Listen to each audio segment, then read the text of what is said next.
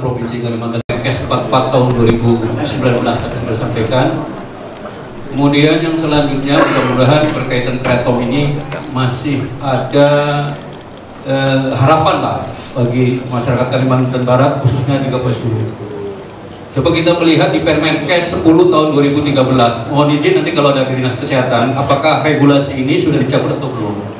Di Permenkes nomor 10 tahun 2013 tentang impor dan ekspor narkotika, psikotropika, dan prekursor farmasi. Artinya ketika nanti setelah 4 tahun, misalkan kratom itu masuk di dalam kategori golongan satu di narkotika tadi Pak ya disampaikan bisa tidak ini kan ada narkotika, psikotripa dan prekursor sendiri bisa diekspor artinya bisa tidak ada peluang bahwa kratom ini bisa di, menjadi komoditi ekspor ini? Dengan catatan pemerintah pusat harus mendorong karena ada syaratnya. Di dalam pasal 20 itu kan bahwa untuk ekspor narkotika dapat dilakukan oleh satu perusahaan PBM pedagang farmasi besar. Artinya harus ada industri pedagang besar farmasinya yang didorong ke sini. Sehingga ketika nanti kratom ini masuk dalam golongan satu saya pikir masih ada harapan bagi kratom untuk bisa dimanfaatkan. Saya pikir ini saja. Terima kasih. Assalamualaikum warahmatullahi wabarakatuh. dan tinggi Pak. Jadi mungkin respon aja apa yang disampaikan oleh penanya sebelumnya uh, untuk pasca hukum kalau nggak salah sikap dari BNN tadi kan memang melarang untuk digunakan masyarakat dan dalam kurun waktu lima tahun nanti harus itu dimasukkan dalam ketentuan yang melarang.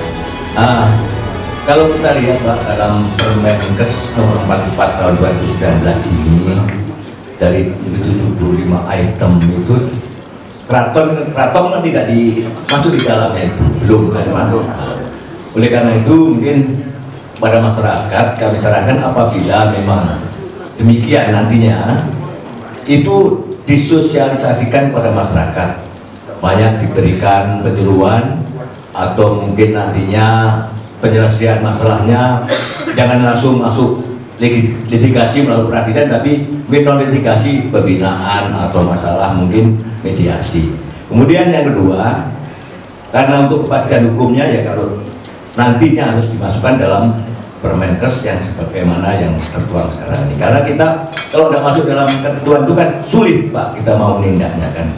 Demikian, terima kasih. Terima kasih Bapak. Sekarang pada saat ini secara tegas belum diatur melalui undang-undang. Merujuk kepada masih boleh atau tidak. Kapan? Ya, jadi jelas Pak, jadi sikap ini karena kita mendukung tim komite menyatakan memberikan masa transisi lima tahun. Jadi sampai dengan lima tahun ini, yaitu sampai dengan 2022, eh, berarti itu tidak ada istilahnya larangan. Cuma kita menghimbau sejak nanti begitu 2022 tank itu Permenkes keluar, keraton masuk dalam golongan satu. Berarti inilah sekarang kenapa kita perlu jauh-jauh hari tadi sikap BNN ada kita mensosialisasikan kepada seluruh masyarakat yang ada di Kalimantan, kemudian juga mendorong kementerian terkait bagaimana pasca nanti adanya uh, setelah ini masuk golongan satu seperti apa disiapkan dari sekarang. Nah tadi terkait juga dengan pertanyaan bahwa harus uh, dibuat suatu penelitian yang komprehensif, ya. Saya pikir uh, anggota pakar daripada tim komite yang dihadirkan itu pakar semua mengirimkan namanya dari seluruh Indonesia. Jadi pakar-pakar ini dia kalau misalnya nanti diundang pada saat uh, perumusan rapat tim komite maka dia akan mempresentasikan apa yang dia pernah lakukan. Dan salah satunya yang saya katakan tadi di Indonesia sendiri sudah dilakukan. Jadi kalau profesornya yang melakukan Pak, kan mereka ada akreditasinya mereka sudah disumpah dilantik jadi seorang profesor doktor ya di Institut Teknologi Bandung ya dan itu adalah profesor aset saya pikir kita kan tidak bisa mencampuri urusan orang meneliti tetapi itulah tadi kita percaya kalau itu sudah akreditasinya sudah diakui oleh negara ini. Dan peneliti yang lain juga pernyataannya sama. Ada beberapa peneliti yang menyampaikan presentasinya.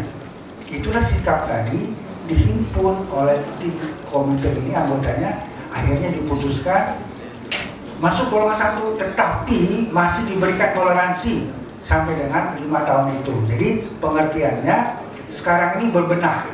Jadi kita nggak langsung tok potong sarang enggak jadi kita berbenah dari sekarang. Mempersiapkan diri kita dari sekarang. Agar nanti pada saatnya 2022 itu dia digeser ke golongan satu maka kita sudah siap. Sudah ada tanaman pengganti sudah ada istilahnya substitusi yang lain untuk menjaga ekonomi masyarakat. Saya pikir itu Pak. Cukup terima kasih Baik, terima kasih Pak Mufti.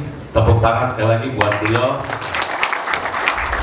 Baik, Bapak Ibu sekalian, Bapak Gubernur, Pak Pondok Kang Bapak